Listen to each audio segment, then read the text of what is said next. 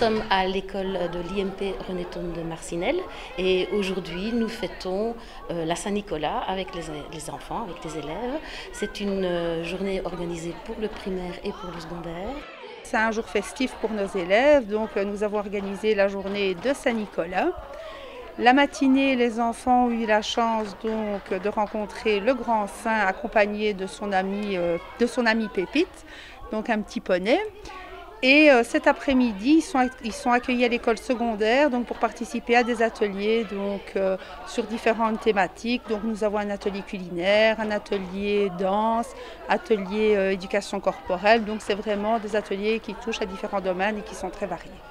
On a un repas très festif, hamburger frites, c'est un repas sûrement très apprécié des, élèves. Et pour continuer la journée, mais nous, faisons, nous organisons une, une boum euh, dans un local euh, qui s'y prête, euh, dans le réfectoire exactement, pour tous les élèves cet après-midi.